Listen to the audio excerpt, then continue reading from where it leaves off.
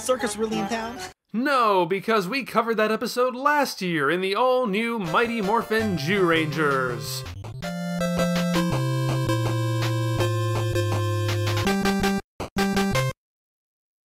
Welcome back to the all new Mighty Morphin Zyurangers for 2022. If you're new, this is the video review series where I pit an episode of Power Rangers against the Sentai episode it's adapting to see who did it better and what crazy concessions it had to make. I'm looking forward to a lot of zany new comparisons this year. But I have to be honest with you, today's two matchups are as boilerplate as they come. If anyone was looking for standard, run-of-the-mill, no surprise representations of what you could typically expect from Kyoryu Sentai Zyuranger and Mighty Morphin Power Rangers, these are the ones I would direct you to. If you looked up status quo in the dictionary, these are what you'd see. We have Kid of the Week, we have Bulk and Skull Antics, we have Tommy missing until the last possible moment, Monster Grows, Fight Fight Fight, Funny Coda.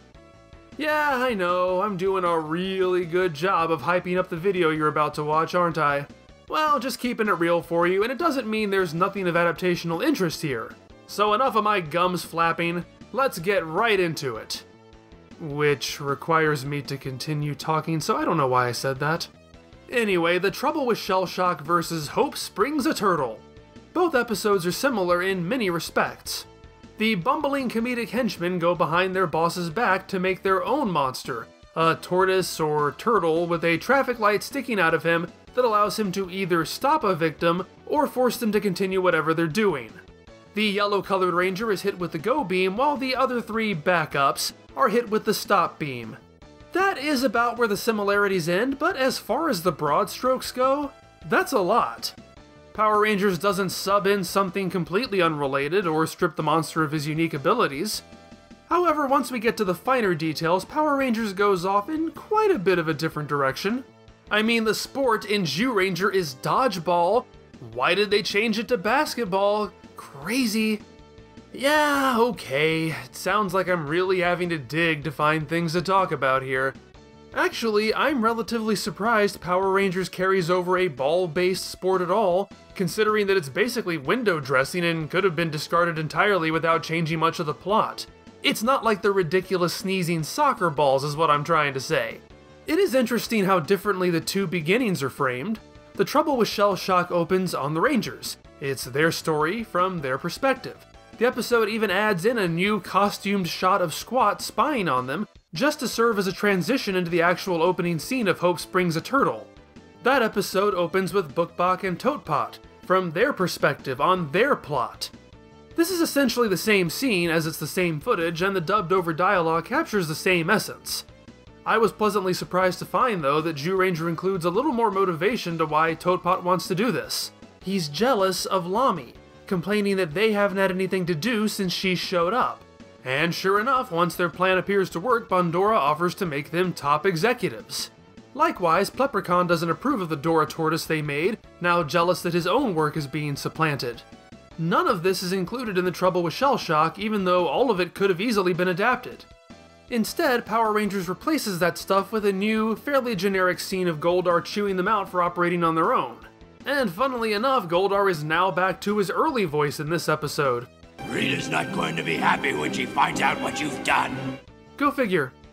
As much as I like this, I'd argue the Lamy motivation would work better if it had been placed a bit later in the series, after a stretch of episodes where these two characters don't get to do anything.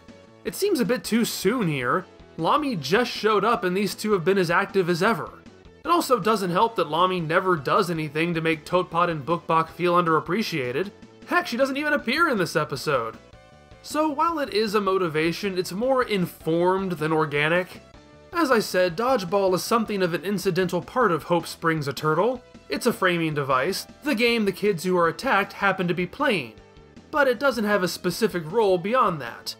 Basketball is pretty much all the Power Rangers do in this episode. I honestly began to think I'd stumbled into a 90s Reebok commercial, there are so many vanity shots of characters sinking baskets. If there's any character work being done, it's in the basketball scenes. Zack is arrogant in his skill, but in a charming, playful way. Tommy gets to develop his place in the group, forming something of a friendly competition with Zack. And remember, this is the first MMPR episode that aired after Tommy joined, and we never got to know him during his introductory episodes, so it's important to establish where his temperament fits in this group. Billy gets to surprise everybody at the end by beating Zack at his own game. This is all fun. There are only two problems here. None of this has anything to do with the story, and while it's good character development, it's largely for the wrong characters. See, this is a Trini episode. I think. Trini is the Power Ranger hit by Shellshock's Go Beam. She's the one who ultimately finds the magic flower necessary to stop Shellshock and free everyone from his attacks. But here's the problem. Once she's hit by the Go Beam, she basically disappears from the episode. We don't even see her receive her quest. We just hear Zordon tell Jason that he told her at some point to go do that. Oh, I just said, since you're already running, can you go pick me up some flowers? Yeah, I'm sure teleporting Jason there wouldn't be any faster. The only other things Trini does is sit on a bench and buy hot dogs. Look at that! She's the focal character, but her role is smaller than any other ranger. The show focuses on hot dogs more than it does on her. It's Mei falls asleep all over again. It's no surprise that Love Springs a Turtle is far more focused in its narrative and its central character. The story is about people being attacked by a monster with a unique skill. It's not just four Zyurangers who fall victim to this, the entire city does. The trouble with Shellshock really needed a juice bar scene where Ernie can't stop dancing or something, but that would have distracted from the pointless basketball stuff. I love how over the top Zyuranger treats this rather silly affliction, with children in the hospital who just can't stop throwing dodgeballs and apoplectic mothers sobbing hysterically. It goes all in with this. And of course, Boi being afflicted with the Go Beam is actually a significant part of the episode. We see Geki explain the flowers to Boi, having to ride alongside him on his motorcycle to do so. And while both solutions are rather generic, there's a bit more to Zyurangers. Boi isn't the one to get the flowers just because he happens to be heading in that direction. The mountain they're on is only visible to people who have been afflicted by Dora Tortoise, and Boi's specific motion leaves him capable of carrying it out. Since there's little inherent tension in a guy who physically can't stop running, being tasked to run to a specific location, the caveat is that Boi can't lose hope. The mountain seems to be moving farther and farther away, and if his resolve falters, it will disappear entirely. Like in so many other episodes, he must remember his dear child friend he cares about so much who we'll never see again, and hang in there in order to save him. It's pretty bog standard stuff, but I do love how the climax of the entire episode hinges on Boi tripping over a rock that causes him to turn in the wrong direction. Again, this episode is stupid, but it goes all in. Power Rangers doesn't have any of this. Trini simply finds the flowers. We spend literally 15 seconds with her before she spots them. What a journey. Given what the trouble with Shellshock leaves out, I'm amazed it keeps this in. The Saber Tiger appears to Boi and gives him encouragement. Makes sense. In that show. Makes no sense in Power Rangers, but they keep it anyway with Zordon saying the saber-toothed tiger will guide Trini, somehow. And then it telekinetically puts the flowers in her hand when she's right next to them, because she couldn't have picked them up on her own. I guess. Then she starts speaking in incantations. By the power of the saber-toothed tiger, I command you, release us from Shellshock's power! And calls Tommy Billy by mistake. Jason, Billy! I found the flowers! I don't even know what's going on. There was a point I literally didn't know what was going on due to some understandably choppy editing. When the other Rangers are hit by Shellshock's stop beam, I thought it hit all of them. I was surprised to see Jason was still in action. I had to run it back to see if I missed something. That's because in the Zyuranger footage, Boi appears, still running, and knocks Geki out of harm's way. Obviously that bit couldn't be used, so what's left goes by too fast to really read but it serves as another example of how Boi is far more important to his episode than Trini is to hers. This episode does establish the Great Tommy excuse trend. In order to get him out of the way to match the Zyuranger footage, Tommy leaves the basketball game for karate practice. It doesn't get more generic than that, but it is the first one, so I can forgive it. And this definitely gives Tommy more to do than Burai, who shows up to play his flute, and that's it. It's the second episode in a row where Burai doesn't do anything beyond that and doesn't even transform. Power Rangers does think Burai's appearance is cool enough to use, so even though they cover it with an effect, if you look carefully, you can see Burai before the reused Dragon Ranger footage comes in. So that's it. Both of these are what I would typically expect from their respective series so far. Neither one really stands out from the pack all that much, but neither do they fall to the bottom of the heap. For story, it's Ranger. This is a much more focused episode, and because of that, it gets far more mileage out of the concept. For characters, Power Rangers utilizes a lot of its cast better, but like I said, it's the wrong members. On the other hand, this is the same Boi plot we've already gotten in the same vein as Boi can't stop sneezing and Boi has to eat a carrot to save his friend. Quantity doesn't trump quality, but in this case it's enough to somewhat balance things out. I'm gonna give it a tie. And for action, Power Rangers really doesn't lose much here. In fact, it gains a decent full team putty fight. I don't know why Zack sinking a basket causes them to disappear, but eh, whatever. I'm gonna give this one to Power Rangers, which means we end with a tie. And that is the biggest concession I can make to MMPR because the story in Zyuranger is so much tighter by comparison that were I not scoring this according to categories, I'd definitely give the win to it on that alone. But here we are.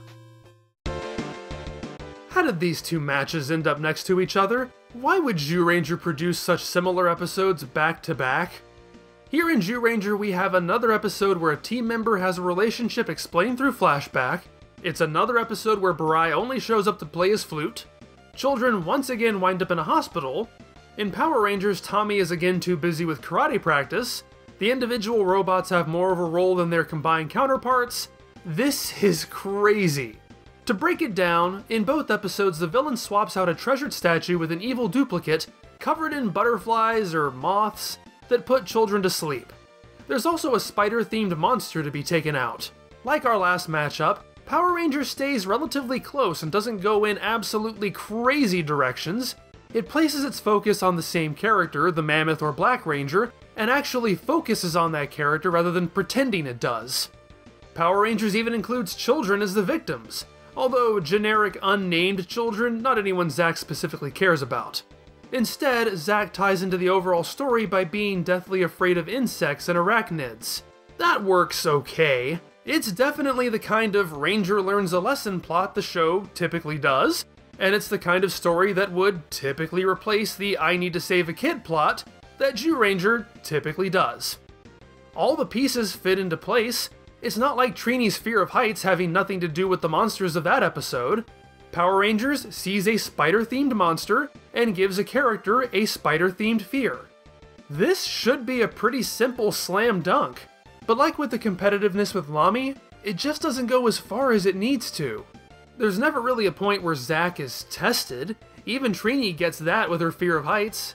Zack never shirks his responsibilities, he runs away from the butterflies, because there is a tangible danger to being near them, not because he can't control his fear. He never learns anything or has to overcome something difficult. He just has a fear of spiders. He fights a spider. The end. It's fine. It just doesn't really connect. Power Rangers also struggles to incorporate the statue. There is a statue here, it does play a big role.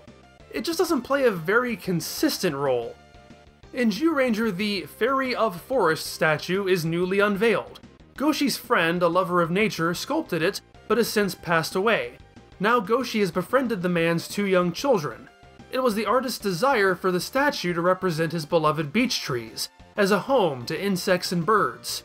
Bandora corrupts the idea so that harmful sleep-inducing insects are drawn to a forgery instead. Ultimately, Goushi has to destroy the fake statue, despite the young daughter not immediately understanding that it's a copy. The ending is actually rather bittersweet. The statue doesn't come back at the end as Dora Tarantula claims to have destroyed it.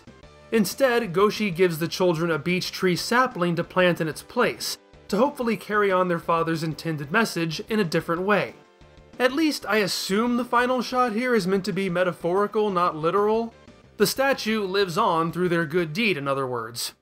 In Power Rangers, despite it serving largely the same function, the statue has become the complete opposite of its counterpart. The Forest Spirit statue is actually old, not new, and the city wants to tear it down to build a barbecue pit. Trini and the others are circulating a petition to save it, since petitioning for do gooder causes is right in MMPR's wheelhouse. While the original statue was created to attract and celebrate wildlife, the Power Ranger statue was meant to repel it.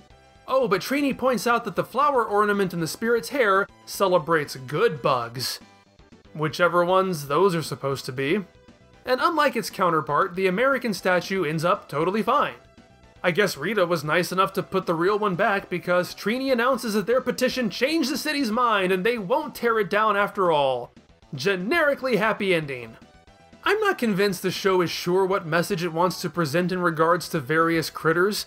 The Rangers have covered their petition table in carrying cases full of live bugs, which comes across to me as vaguely threatening given the stated nature of the statue. Oh, you guys don't like bugs? Well, you better save the statue or this is gonna be your whole life right here. Bugs everywhere! The Bulk and Skull prank is to let all these bugs loose, after which they are lost and almost certainly trampled to death in the ensuing panic. For example, Tommy has no issue flattening an escaped tarantula. Jason, Trini, Billy, and Kimberly, by contrast, replace all the lost bugs with obviously fake props. They appear to care for the lives of their insect friends, except when Zordon comes a callin' and Jason carelessly tosses his container on the ground. It's really weird! Zyuranger's message is very clearly about taking care of nature. Power Rangers' message seems to be that bugs are cool, as long as we can wring some wacky hijinks out of them, otherwise, who cares? I also prefer how Zyuranger doesn't immediately give the evil plot away. We know the bad guys have done something with the statue, but everyone assumes at first that the butterflies are a good omen, the father's wish having come true. It makes the realization hit that much harder that it's an ironic subversion of what he wanted. Power Rangers combines Rita's expository scene with the earlier scene of stealing the statue, so we know what the butterflies are supposed to do before we even see them in the wild. Despite their seeming lack of care towards the bugs in this episode, Power Rangers apparently got squeamish showing Rita actually crush one of her moths to demonstrate the sleeping powder inside, cutting around that one shot to make it a bit more ambiguous what she does to it.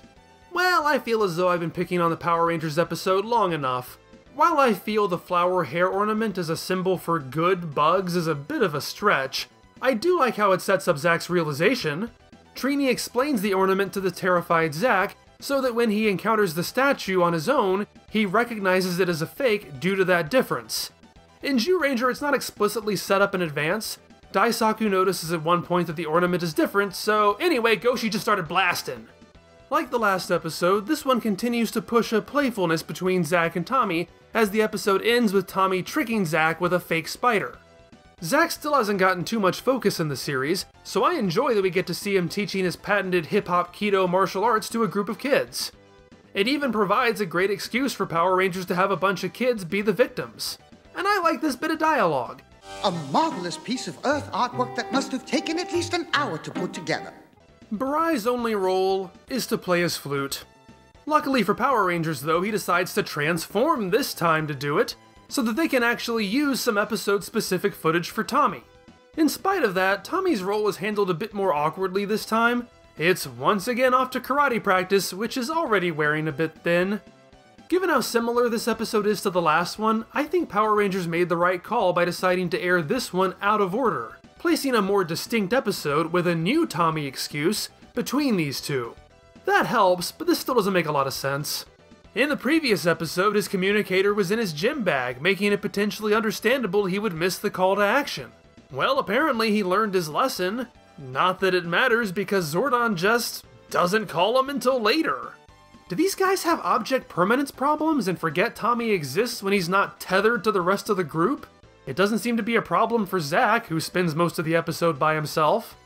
And that's also a minor thing to note here. Goushi is rarely alone.